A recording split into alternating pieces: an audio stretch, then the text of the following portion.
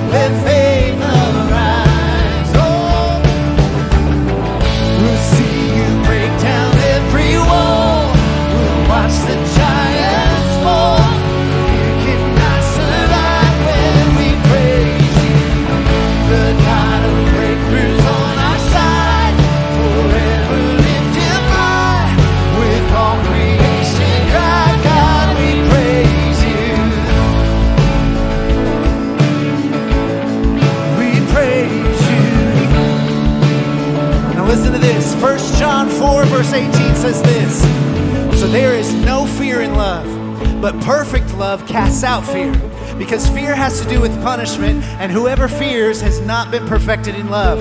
How many would be brave enough to raise your hand and say, you know what, there might be some areas in my life that I'm fearful?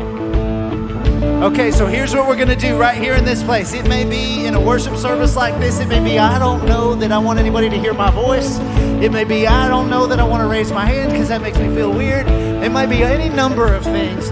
Let's pray to the Holy Spirit of the Almighty God and ask Him to cast fear out in this place that we might be able to lift up a mighty shout of praise to a King who is worthy of our greatest praise and worship. Amen. Come on. We'll see you break down every wall. We'll watch the giants fall. You cannot survive when we praise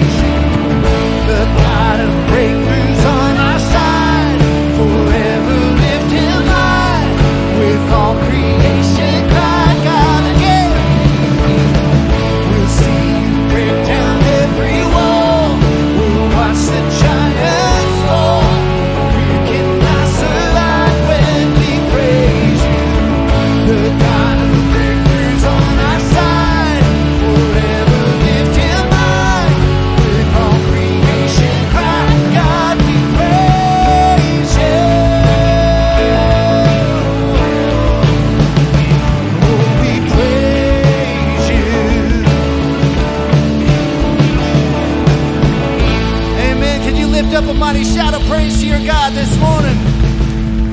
Woo! So Psalms 95 says, Oh, come, let us sing to the Lord. Let us make a joyful noise to the rock of our salvation. Let's come into his presence with thanksgiving. Let's make a joyful noise to him with songs of praise. For the Lord is a great God and a great King above all kings. So, Father, would you receive the praises of your people today? In Jesus' name,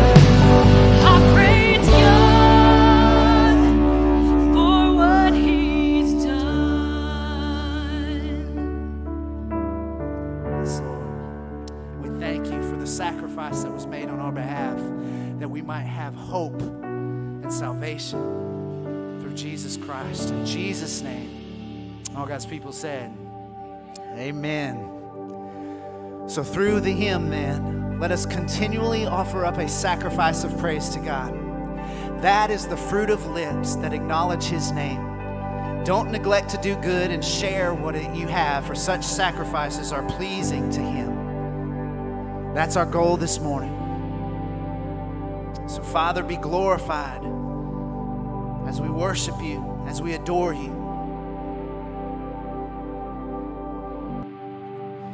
Worthy of every song we could ever sing. of all the praise we could ever bring. Worthy of every breath we could ever breathe. We live for you.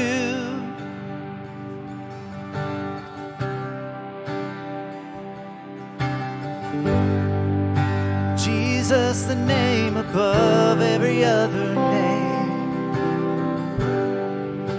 Jesus, the only ever say,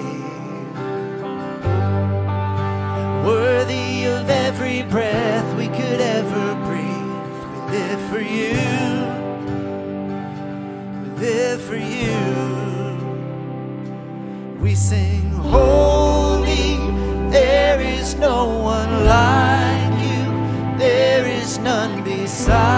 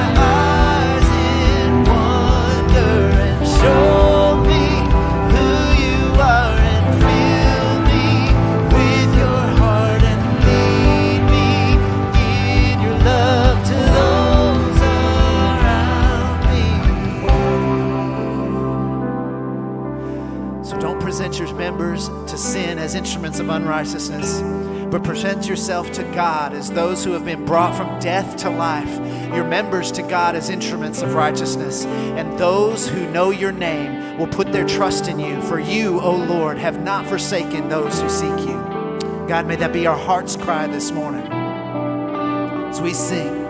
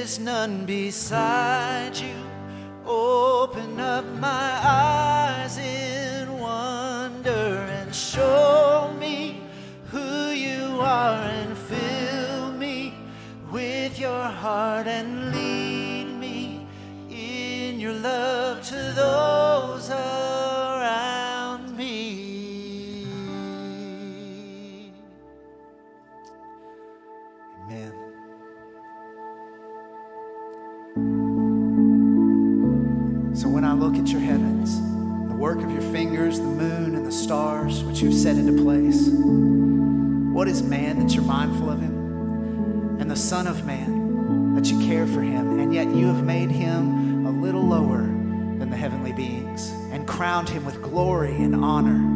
You've given him dominion over all the works of your hands. You've put all things under his feet, all sheep and oxen, and also the beasts of the field, and the birds of the heavens, and the fish of the sea, whatever passes along the paths of the seas. O oh Lord, our Lord, God, how majestic is your name in all the earth. Our God is a good God.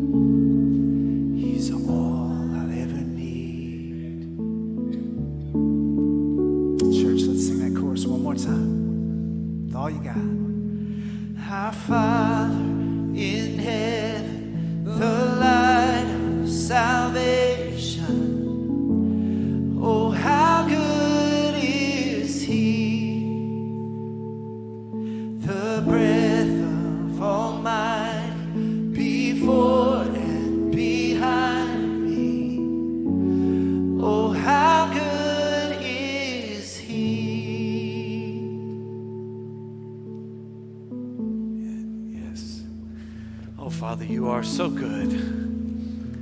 And, and even when our lives don't feel good, when we're in the midst of the storm, when we're struggling with our fears, when we're uh, dealing with doubt, you're, you're still God and you're still good and you're with us. You will never leave us. You will not forsake us. You're with us to the very end of the age. You are a good God. We can trust you. We, we know your word tells us that we will have tribulation. Your, your word tells us we will face trials of various kinds, that there will be thorns, there will be crosses to carry, and all of it, Lord God, you are good. Help us to believe that. And help us to be a part of the good that you're bringing to the world through salvation in your Son Jesus. Make us to be faithful. Make us to share the hope that transforms lives. Teach us to do that today. Speak, Lord. Your servants are listening. In Jesus' name, amen. If you would, go ahead and, and be seated. Again, thank you for bringing the church into this room. If you're a guest, thanks for worshiping with our church family. I guess there's a card in front of you. If you don't mind, uh, fill out that orange side and meet me out here at Guest Connect. At the end of the service, we got uh, a, great gift for you, the world's greatest coffee cup, and just want to say hey to you. Uh, those of you who are regulars around here, use the blue side. Let us know how to be praying for you. Also, know you can do this all electronically. Just pull out your smart device and just point it at the QR code behind me or at the one in front of you in the pew or on the bulletin, hopefully, that you, that you got on the way in. Uh, we're having a, a big day today. Today is a big life, and uh, big day in the life of our, our church family. Uh, at the eight o'clock, we had uh, a, a young person that was baptized. At the nine thirty, we had four others that were baptized, and this afternoon we have 18. So for a grand total today, we have 23 people making public profession of their saving faith in Jesus, which is awesome. So exciting. Uh, last week we had three that did this, and so I want to share those with you. Uh, Connor Lux uh, made public profession of his faith. Colton Lux also did as well, and Kern McDonald. And again, we're very, very excited uh, today uh, to, to, to, um, to see so many baptized. So it's at the creek. Um, directions, everything's on the, on the app or the website at 3 o'clock, and someone says, What happens if it rains?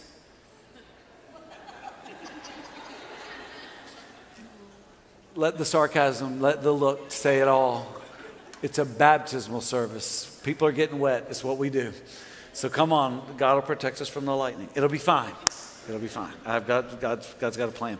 Uh, men, let me talk to you real quick. Um, hope that you can come hang out with me on Wednesday night. I got a good friend of mine, Brady Cooper, uh, that's coming uh, to speak. Uh, Brady is hilarious and he loves Jesus. I've known Brady since seminary. Leads a, a, massive church down in the Murfreesboro area, and super excited to have him come and, and challenge us. And so please sign up to be a part of that. Also, uh, we're continue to care for the welfare of our city. We do that by a um, number of things. Right now, we're taking up a food drive. So if you could add a little extra on, on your pickup or, or however you do groceries and uh, bring those by a Saturday afternoon. Again, that goes to care for the kids in, in our community. And last but not least, uh, the Ministers in Training Program.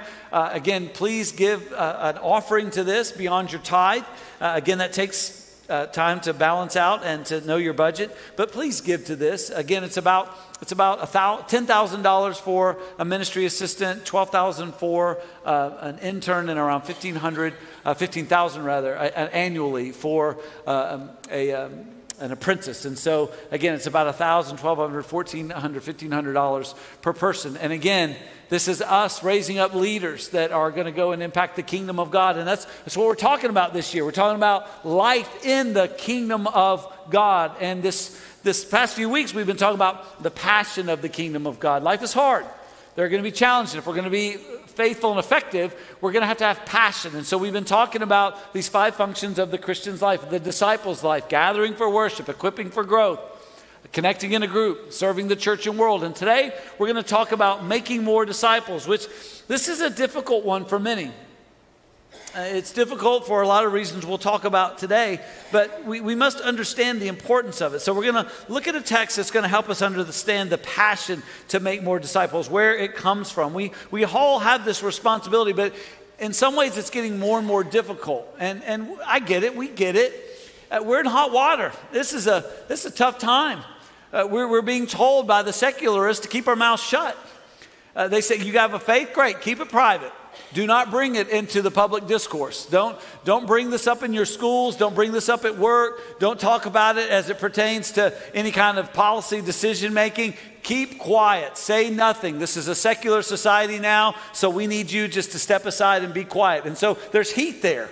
Uh, there's also the, the spiritualists, you know, and they just they just want us all to pretend that all the religions teach the same things. If you take any religion serious, what you will find is that there are distinctives to that faith system.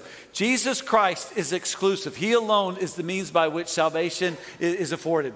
It is in Christ alone that we are saved. And, and, but they're spiritualists, and I get where they're coming from. They want everyone to be nice, and so they basically say, "Look, can we just pretend we all worship the same God? And and, and could you just hold it down?"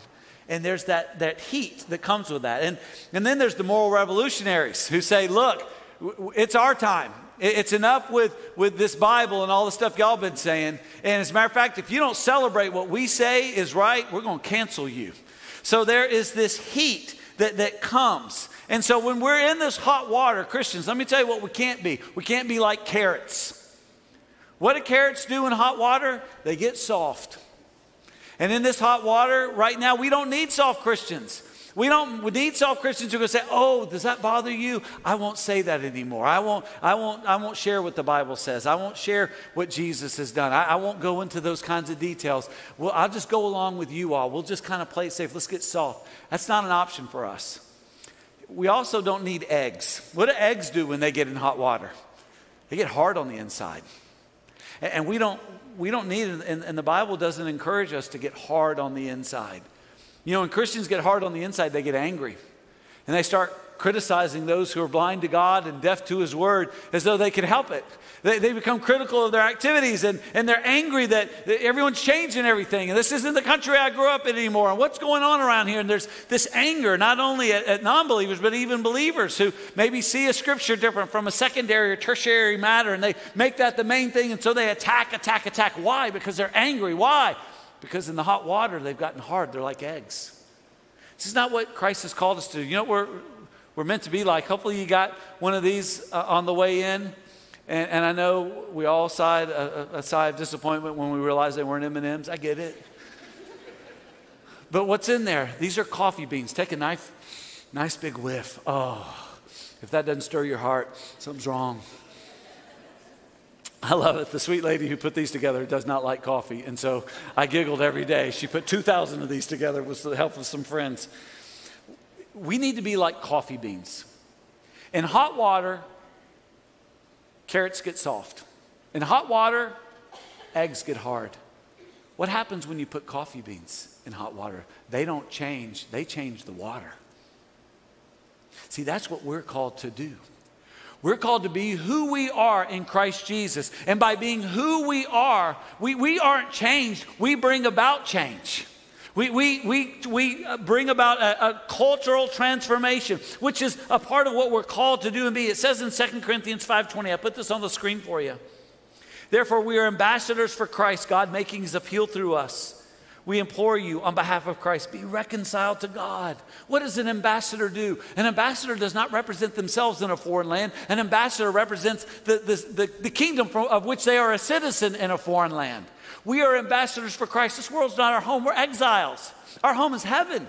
And we are here as ambassadors. I want to encourage you, uh, young people, put this in your backpack, uh, put it in your car, uh, take it to work, put it somewhere where you can see this regularly. And remember, don't be a carrot, don't be an egg, be a coffee bean. Bring about transformation as the water gets hot. We are to bring about transformation by, by just being present. Look what Jesus said. This is Matthew chapter 5, verse 13. You are the salt of the earth. But if salt has lost its taste, how shall its saltiness be restored?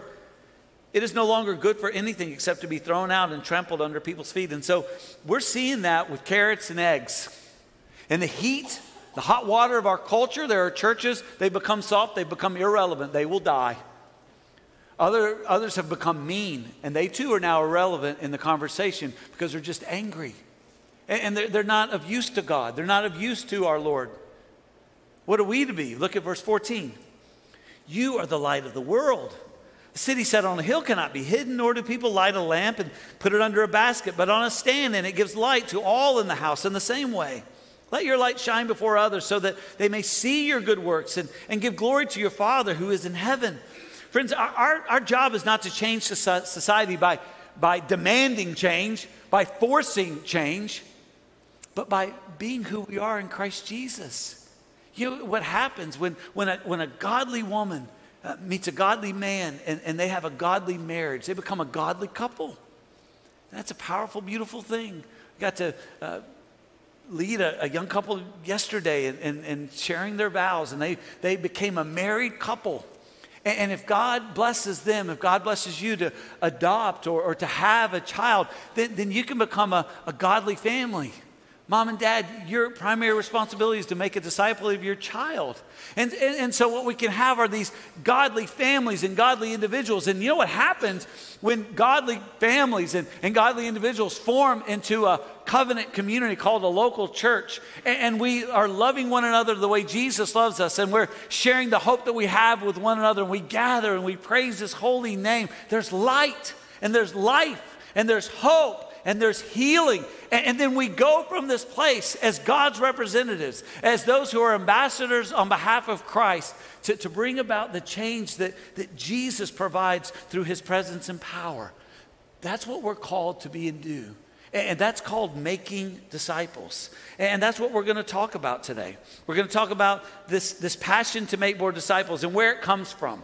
If you've got your Bible, and I hope that you do, let's go now to 2 Timothy 2 2. 2 Timothy 2 2. Charlie's going to read for us. Let's all stand together in honor of God's word. 2 Timothy 2 2 is our text. Charlie, can you read that for us? And what you have and what you have heard from me in the presence of many witnesses, entrust to faithful men who will be able to teach others also. The grass withers and the flower falls, but the word of the Lord remains forever. Amen. Amen. If you would be seated, thank you, Charlie. That was not nearly a long enough text for Charlie. When Charlie was three, he informed me that he would be the next pastor of Living Hope, and so I feel a little bit, you know, challenged whenever he comes up on the stage. I'm just going to tell you right now, he's, he's, a, he's a good one. He's a keeper for sure.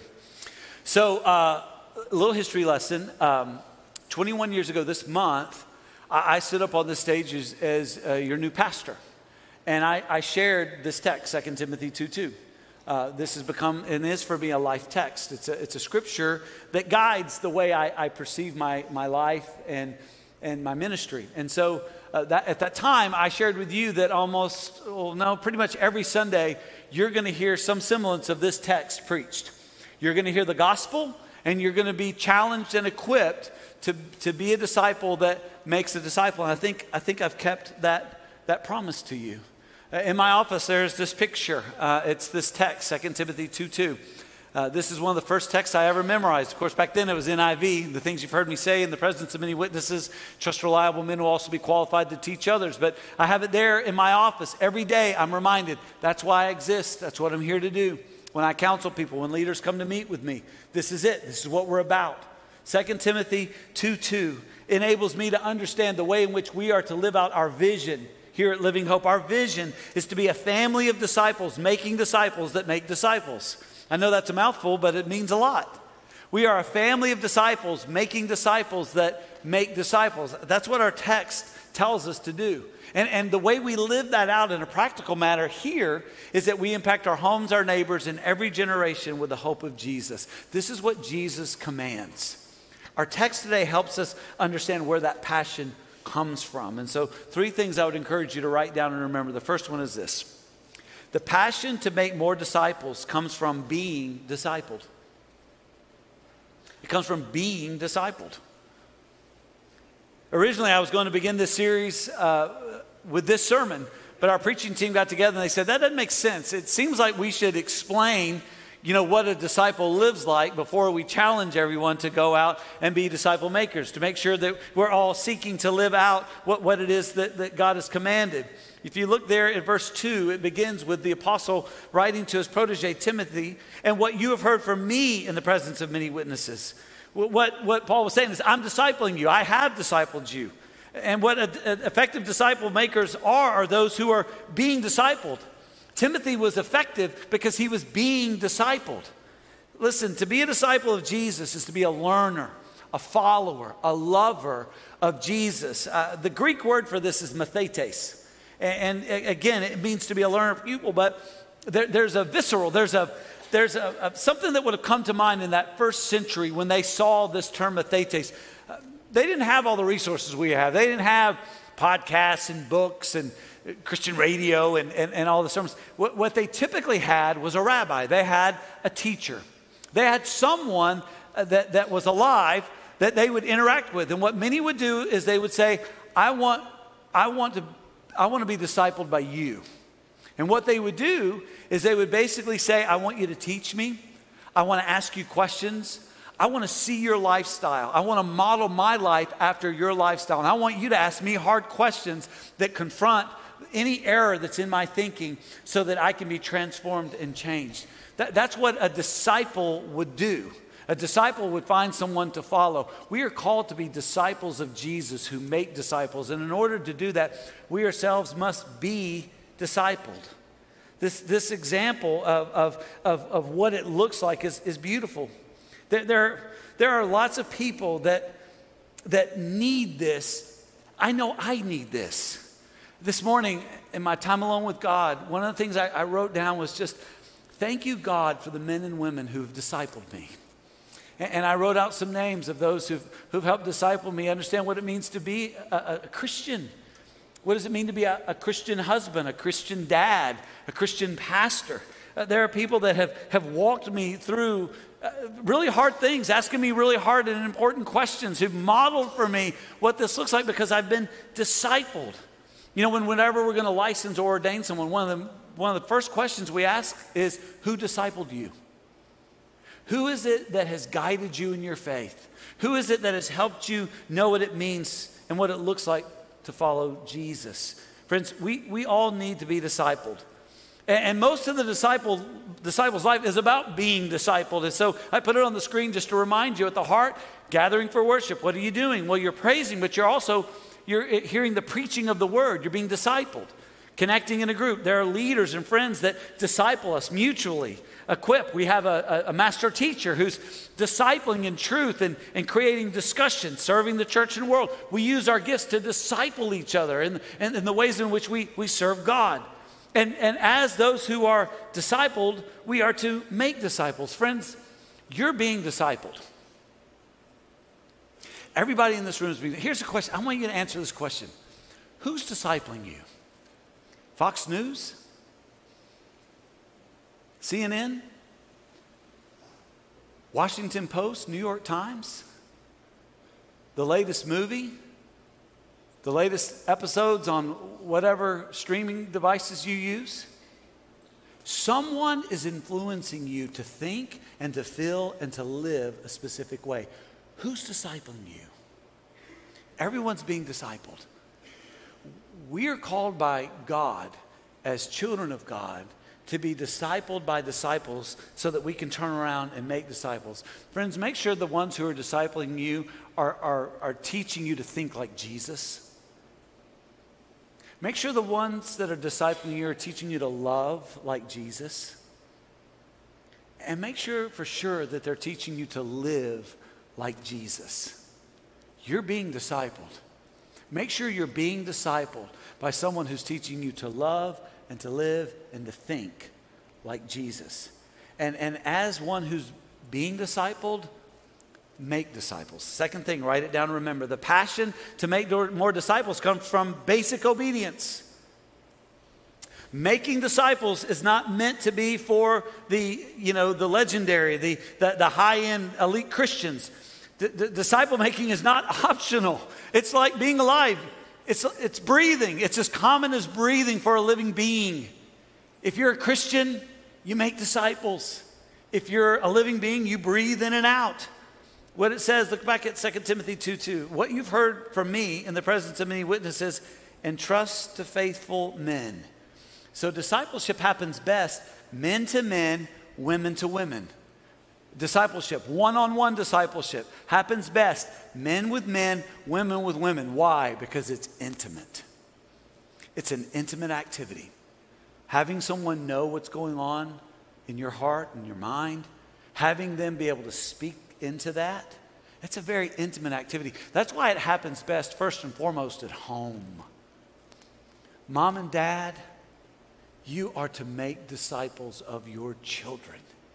And that is one of your highest privileges. it, it is the highest and, and greatest important thing that you will do. That's why in the last hour, we're giving space and time and energy to, to have leaders do our, our, our parent training. Because there's nothing more important than for you as mom and dads to be making disciples of your children. Mom and dad, you are discipling your children. What are you discipling them to? When, when your children think of who you are, the kind of person you are, and the things that you do, how do they picture you? Do they picture you talking about the Bible? Do they picture you talking about Jesus? Do they picture you praying and talking to Jesus? Do they picture you in church? Do they picture you amongst other believers? Do they picture you in seeking to be faithful? Or do they picture you scrolling nonsense on your phone? Do they picture you watching nonsense on a screen? Do they, do they picture you not there because you're out pursuing success or whatever God it is that's more important to you. You're discipling your children. Friends, disciple them to be disciples of Jesus who think, love, and live like Jesus. It happens best at home, and it also happens really well uh, at church. As I use my gifts, you use gifts, we use our gifts. It happens best amongst our friends at work, at school, with our neighbors, as we're simply being who we are, the coffee beans we are. As the hot water gets hotter, we, we, we are able to, to permeate the, the environment. Unfortunately, the way it typically, usually, most often happens is, is in the most narrow way, and, and that is through a preacher preaching to masses. Now, again, it's effective and it's commanded in Scripture, but it, it's in our day and time, it's, it's the least effective, and here's why. And I'm gonna put this on the screen just so you can kind of grip it, get a grasp of it. Statisticians tell us that a majority of our culture will not go to or return to church.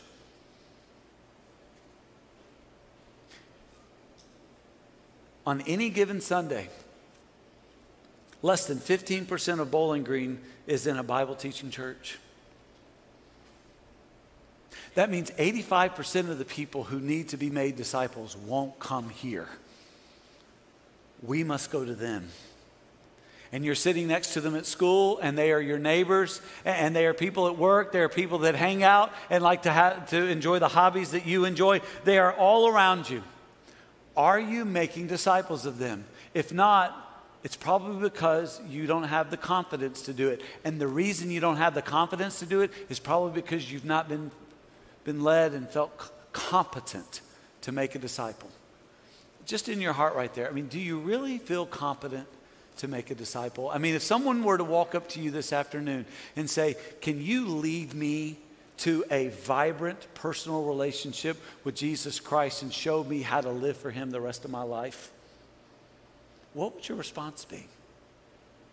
There's, there's a lot of folks who would say, um, I'm going to take you to church next Sunday. I'm going to introduce you to, to our pastor. He's crazy, but he's all right. Look what Jesus said.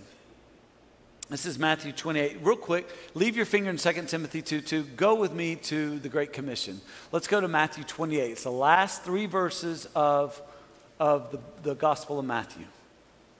While you're turning there, let me tell you something we're going to do next Sunday. Next Sunday, um, 2 o'clock, 3 o'clock, I know there's a game, I know there's a lot going on. If you want to be made competent in disciple making, show up at Scottsville Road And Pastor Will is going to help you.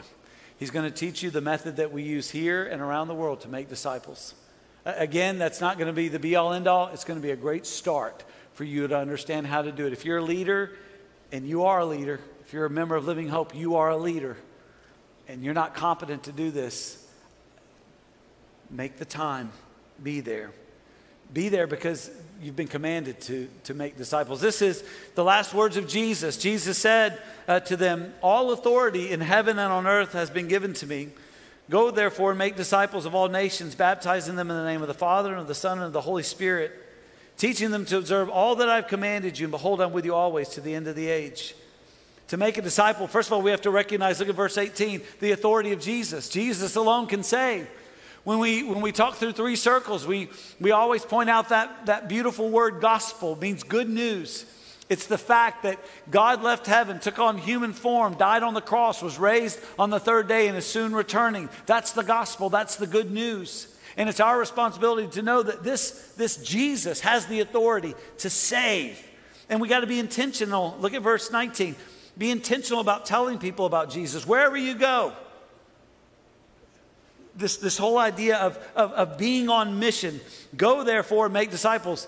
The go is not the is, is, is that, that's not the command. This is that's a participle. It, it, maybe a better way of saying this: as you are going, make disciples. As you're going, the command is make disciples. As you're going to school, as you're going to work, as you're hanging out in your neighborhood, as you're enjoying your hobbies, as you're playing your sports, as you're doing the things that, that, that you like to spend your time doing, make disciples. Let them know who Christ is and what he's accomplished and what, what he can do. And, and be willing to go out of the way. Make disciples, boy, this is a tough one, of all nations. Next month, we're going to begin to talk about the gift for Christ, and we're going to talk about the ways that we're going to go. If you're a covenant member, I want to challenge you to do something. I want you to pray this way Say, Lord, I'm assuming you want me to go overseas next year. Unless I hear otherwise, direct me. Assume you're supposed to go. Assume that you're going to be on mission. Assume that you're going to be a part of this. It, it requires a time commitment, it requires all kinds of intentionality. But again, go make disciples of all nations and then baptize them. Today, we're baptizing people, letting them make public profession of their saving faith in Jesus Christ, and then teach them to observe all that Jesus has commanded. See, what's happened to a lot of, of Christians in North America and really, really all over the world, we're seeing the, the results of this all over the world, is are there are people who have made a decision for Christ and maybe have even been baptized, but they've never been taught to observe all that Jesus commanded them. They, they've become converts, but not disciples. Bill Hull, which is one of my heroes, he, he explains the difference in his book. I highly recommend this book, uh, Conversion and Discipleship. Here, here's what he says Conversion is theological slang for when a person decides to become a Christian. And I cannot tell you how many people we talk to who say, "Oh yeah, yeah, I was saved at Vacation Bible School when I was a kid. Oh yeah, I went to I went to youth camp. I made that. Oh, is that a revival service? Okay, so you're a convert.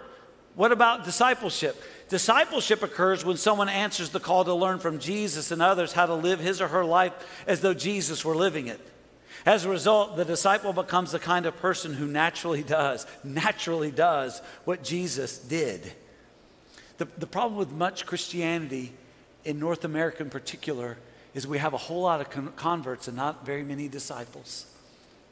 We don't have people who are growing in what it means to think like, love like, and live like Jesus. And, and so there's not the competence, which gives confidence to do what Paul told Timothy to entrust to faithful men.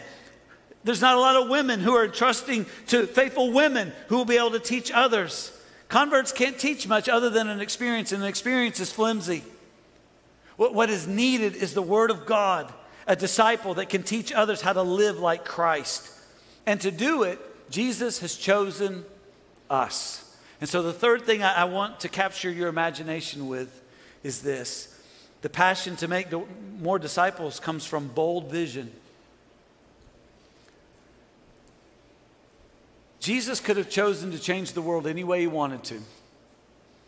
He could have made the salvation process what the Apostle Paul experienced in Acts chapter 9 showing up, knocking us off our high horse, literally, blinding us until we repented and, and we're saved. He could have done that, but that's not what he chose to do. Instead, Jesus has decided that he is going to make known the gospel of God through the church, through us as individuals. The model Jesus chose is audacious. So you think about what, what, what Paul is saying here and what you have heard from me in the presence of many witnesses, and trust the faithful men who will be able to teach others also. So here's the picture. I put it on the screen for you. Paul, the disciple Timothy. Timothy was to disciple faithful men, and those faithful men were to disciple other men. The vision is bold. Acts 1 8 is the vision. I want to encourage you uh, to know next Sunday we're going to go, we're going to be in this text. We're going to be in Acts 1 1 through 8. As a matter of fact, next Sunday we're beginning our study of the book of Acts. And so uh, we don't have any more of these. I'm sorry, we sold out. But we're going to try to order more. Um, charity, heads up on that. Um, so, so this is what this is it's, it's just a it's just a journal. It has the, the, acts and then space for you to write sermon notes and journal entries about how you're experiencing god. We want to get everyone to train to do this because next year we're going to be studying ephesians galatians uh, philippians and colossians and we're going to we're going to have these available so you can write notes. And so if you'll start next week uh, if we can get them you uh, you can uh, you can have those five books.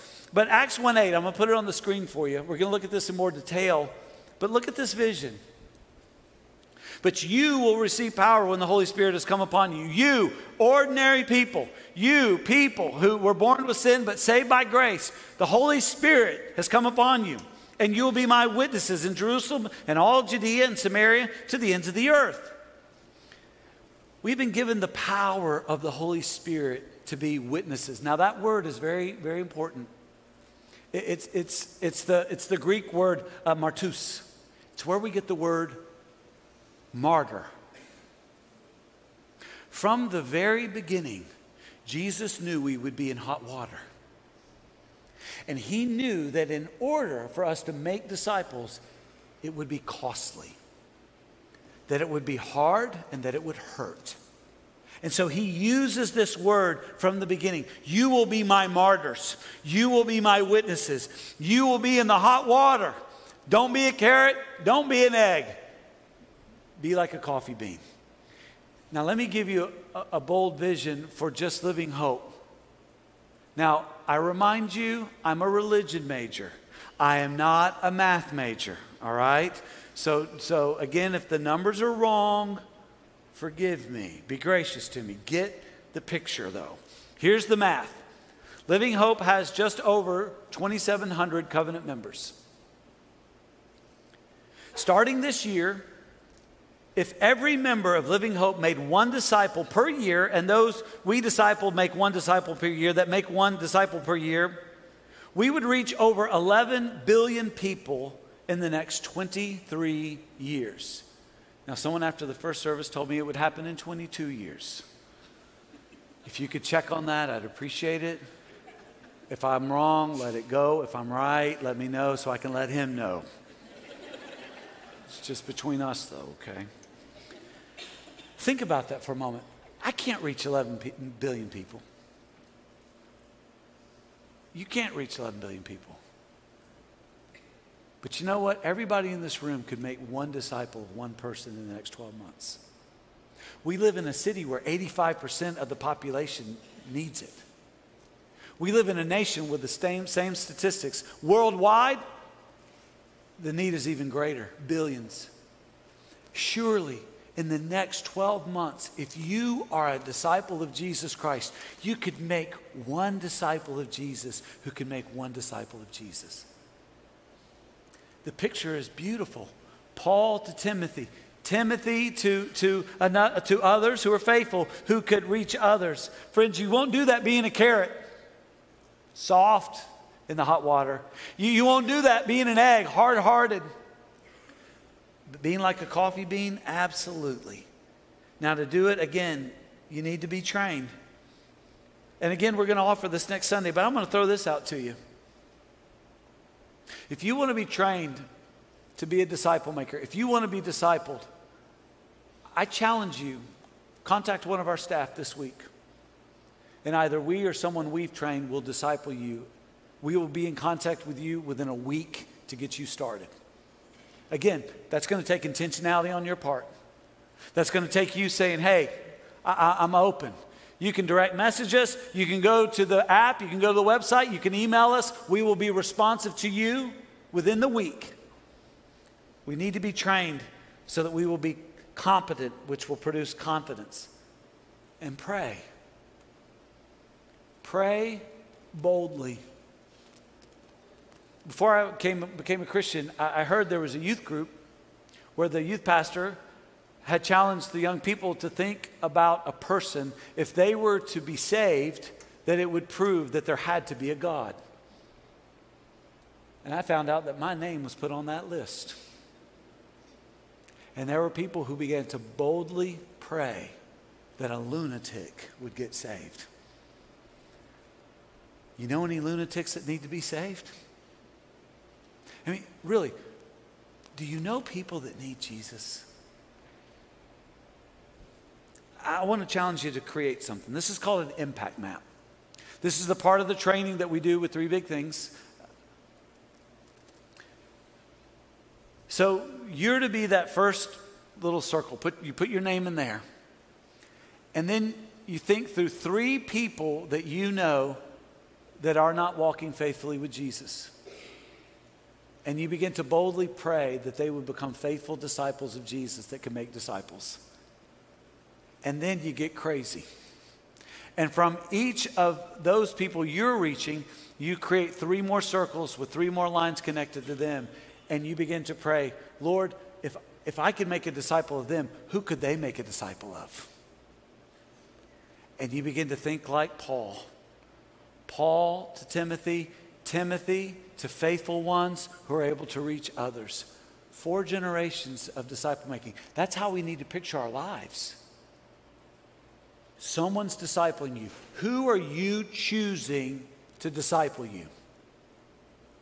Who are you making a disciple of? Are you making a disciple of Jesus? Here's what I know if you're not walking with Jesus, you can't make a disciple of Jesus. If you've never repented of your sin and believed in, in, in, Christ, you're not a disciple of Jesus, and that needs to be your first step.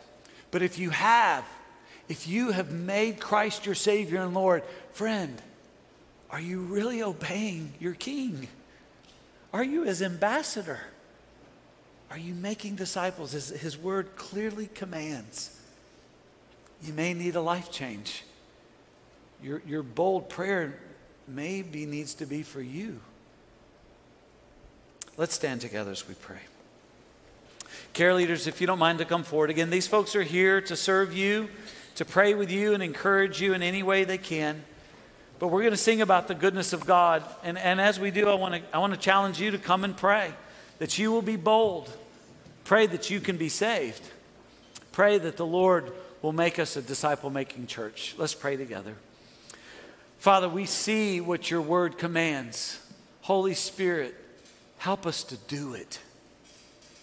Do not let us be theoretical Christians who theorize about the idea of making disciples rather than being doers of your word. Convict us, Holy Spirit. Show us where we have not been faithful as parents and as friends, as co workers, and as, as those who, who live in a city where there's a lot of lostness.